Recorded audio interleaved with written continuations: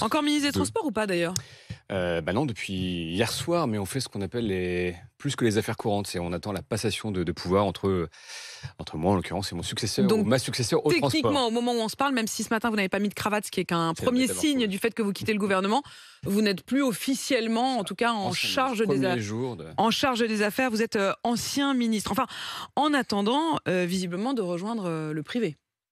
D'abord, moi, je venais du privé et, je fais partie de cette génération qui euh, s'est engagée en politique aux côtés d'Emmanuel Macron en 2017. J'ai eu la chance d'être euh, député pendant un peu plus de deux ans, membre du gouvernement pendant trois ans. Et puis effectivement, euh, quand vous êtes membre du gouvernement, vous pouvez tout à fait retourner dans, dans le privé sous réserve de respecter certaines règles. Et c'est ce que c'est ce que j'ai fait en, en, sollicitant. Il y a quand même une question de timing puisque hier c'est la société euh, Opium qui est une société qui fabrique des voitures euh, à hydrogène qui a annoncé au fond que vous sortiez du gouvernement puisque c'est la société qui avant même quelques nominations que ce soit, avant même quelques passations de pouvoir que ce soit, avant même quelques démissions que ce soit, a dit qu'elle vous embauchait.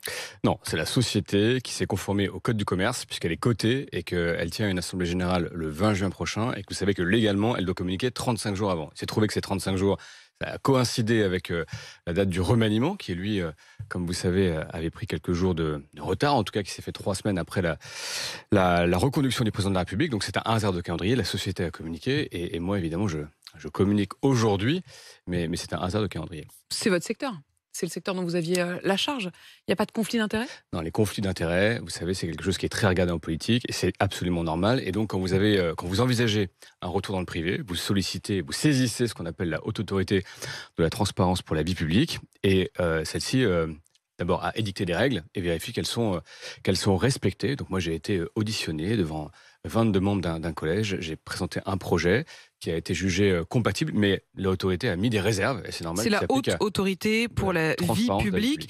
Mais ça, euh, vous l'avez fait le 31 janvier dernier?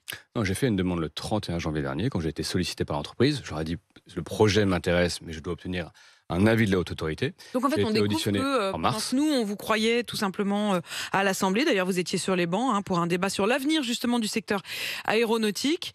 Euh, ben, en réalité, vous étiez déjà en train de préparer votre avenir, la suite. Ça se jouait en coulisses. ça vous met pas mal à l'aise Non, non, non, mais d'abord, vous ne pensez pas que euh, ça peut créer quand même une suspicion aussi euh Mais c'est quoi le modèle du coup? Si je vous écoute, je vais répondre d'abord, un, ça ne met pas du tout mal à l'aise. C'est normal d'avoir une activité, euh, de retrouver une activité entre guillemets normale après la politique. Il y a des règles, il faut les respecter. Et oui, ça s'anticipe. Il y a des règles, il faut faire une saisine, il y a un dossier qui est instruit, etc. etc. Moi, j'ai été pleinement au travail tous les jours, 7 jours sur 7, 24 heures sur 24. Donc, croyez-moi, j'ai absolument aucun problème et aucun état d'âme et je me sens parfaitement serein sur l'activité très dense que j'ai menée au ministère des Transports. Mais du coup, la question que je vous pose, c'est quoi le modèle? Si vous me dites que quand on, va quand on vient en politique, le modèle, c'est rester 40 ans accroché euh, à son mandat, je vous dis que c'est pas le mien.